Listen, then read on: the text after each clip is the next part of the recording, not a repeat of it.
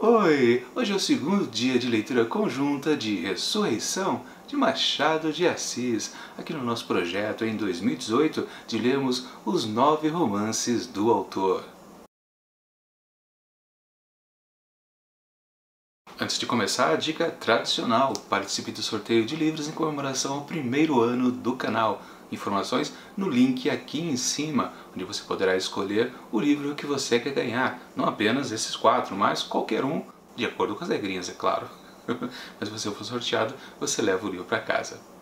E cá estamos na segunda parte e também a penúltima da leitura conjunta de Ressurreição de Machado de Assis. Como a gente combinou semana passada, hoje teremos a leitura do capítulo 7 ao 15. Mas antes de falar sobre eles, deixa eu fazer uma retrospectiva das minhas expectativas do que a gente leu na semana anterior. Por causa daquela informação final ali no finalzinho do capítulo 6 de que Lívia tinha um filho, eu tinha certeza que esse garoto ia atrapalhar a relação deles de alguma forma. Bom, sim, e não, mas não do jeito que eu pensei, né? Eu achava que Félix ia rejeitar o garoto, querer ficar só com Lívia. E do lado da Lívia, eu achava que por algum motivo, sei lá, alguma doença, ela deveria se dedicar mais ao filho e então também a relação estaria perdida.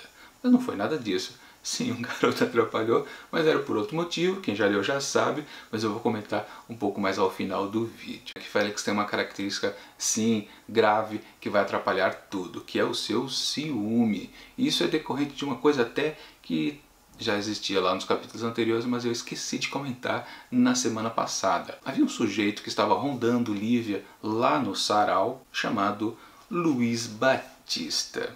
Acabei não comentando porque eu acho que eu achei que não era de muita importância lá o diálogo que ocorreu entre ele e Félix, mas não, era importante sim, foi mancada minha não ter lembrado disso porque ambos perceberam que o outro estava interessado em Lívia. E claro que Félix foi dar uma sondada né, para ver se Luiz Batista estava interessado. No que ele respondeu: Nada há, nem eu pretendo cortejá-la.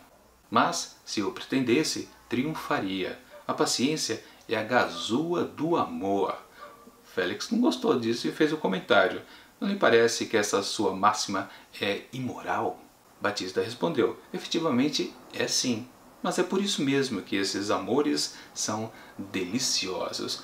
Ou seja, esse Luiz Batista se mostra um grande canalha.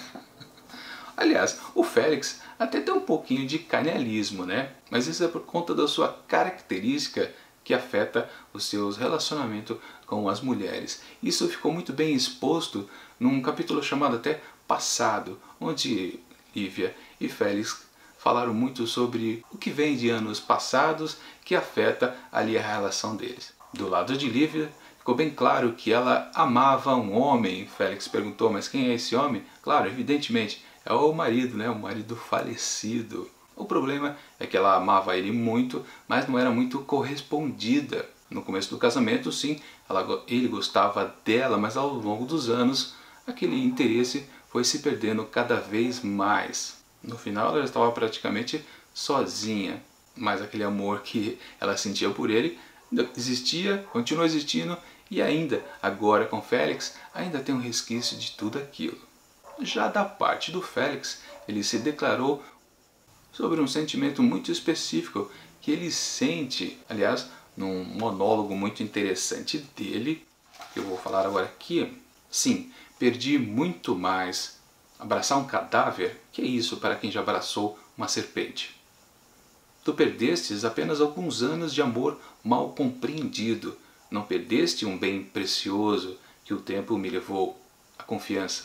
Podes hoje ser feliz do mesmo modo que eu queria ser então. Basta que te ame alguém. Eu não, minha querida Lívia. Falta-me a primeira condição da paz interior. Eu não creio na sinceridade dos outros e aí temos a explicação do que é Félix. É um homem de coração seco. Ele não consegue se aproximar de uma mulher, declarar um amor e mesmo assim continuar sentindo ele depois de alguns dias, de alguns minutos. Ao mesmo tempo, ele ama e não ama. E temos daí também a explicação do título aqui desse livro, Ressurreição. Há uma promessa dos dois ali juntos, depois desse diálogo deles, dessas confissões um para o outro, que Lívia se compromete a resgatar esse coração perdido de Félix. Essa é a ressurreição. Lívia está ressuscitando este coração seco de Félix. Sim, ela sabe, ele também sabe, é uma tarefa muito árdua, quase impossível, mas ela diz que não vai desistir e que apenas uma coisa em troca, que é que ele a ame. Bom, claro que ele diz sim, né? Na lata, que a ama, mas ele, já sabemos, ele ama e não ama ao mesmo tempo.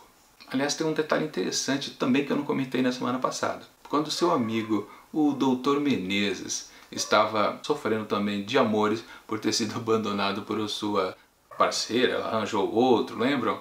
Ele, naquele momento, ele deu um jeito de aproximar Menezes de Lívia. Na verdade, ele apenas fez o um convite. Vamos à casa de Viana e você poderá conversar entre nós três e conhecer um pouco mais essa tal de Lívia. Na verdade, ele estava dando uma de cupido ali para o seu amigo, né? Oferecendo a Lívia, ele até já tinha um certo interesse. Mas não deixa de ser uma pitada de canalice ali também, né? Poxa, você já está começando a ficar interessado de uma mulher e você oferece o seu amigo para ela, ou pensa em oferecer. Efetivamente ele ofereceu, né? Oferecer no sentido, claro, de, ó, oh, tem uma menina bonita ali, vai lá, tenta, não custa nada. Mas enfim, é um comportamento bizarro do Félix. Voltando ao Luiz Batista, sim, ele voltou a rondar ali a casa e tem grande intenção agora sim de ficar cortejando ela. Mas um detalhe, né? Ele é casado com uma tal de Clara. Aliás, Clara é essa que parece ser aquela mulher que estava cuidando do filho da Lívia, que eu chamei de babá, né? Mas na verdade, eu acho que não era babá não era apenas uma amiga que estava ali na casa também e brincando com o Luiz. Aliás, peraí, o moleque também chama Luiz. Que bela confusão, hein, Machado? Na verdade, tudo isso aqui está meio nebuloso. Essa passagem do Batista tentando flertar novamente com Lívia, e já sabendo, claro, que Félix gosta dela, gerando aquela situação de Otelo de Shakespeare, tudo isso é uma passagem muito rápida, contada apenas pelo narrador da história, não há as cenas mostradas para nós leitores. Ficou um negócio muito rápido, onde ele conseguiu convencer Félix de que ele estava flertando com Lívia e ela estava correspondendo. Claro, bateu o ciúme e Félix rompeu, através de cartas, com a sua amada. Não foi muito bem desenvolvido pelo Machadão. Não sei porquê. Claro que eles acabaram se reconciliando novamente, mais por iniciativa da Lívia, mas disso tudo surgiu um outro fato interessante. Félix quer ficar com ela, mas não quer expor isso para a sociedade, quer deixar em segredo, até que chegue um dia que eles possam até se casar. Coisa também muito complicada, ela continua desconfiada, que diabo de amor é esse que você está me oferecendo? Mas ela, como ela se engajou em salvá-lo, continua com isso, mesmo ficando com o pé atrás.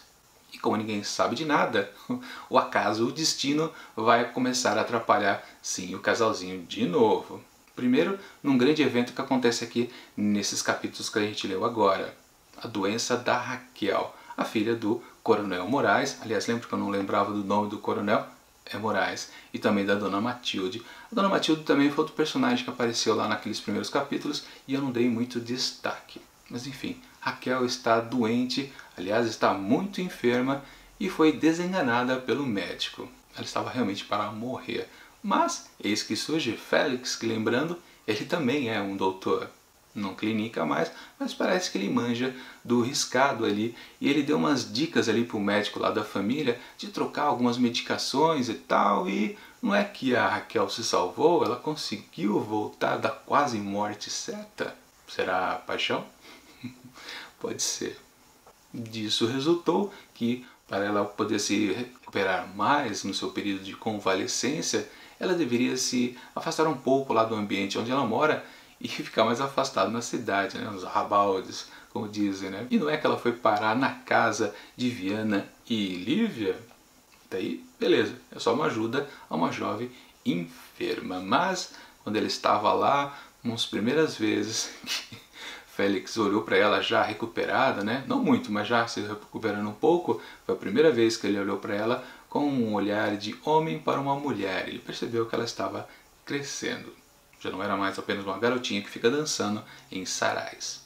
Mas esse é um detalhezinho ali meio perdido nas né? frases, parágrafos ali do texto, e eu acho que isso vai render mais depois.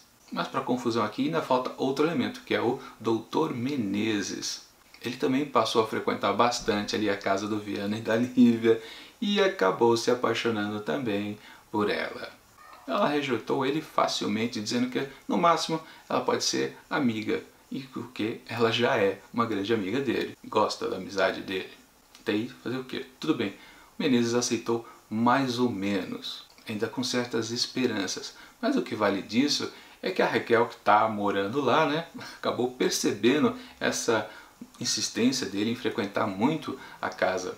E tanto percebeu essa proximidade que foi falar isso para o Félix. De novo, Félix que ficou com ciúmes de Lívia e mais uma vez rompeu com ela. Félix, na verdade, está se tornando um grande chato aqui dessa história, né? Quase um protagonista meio insuportável.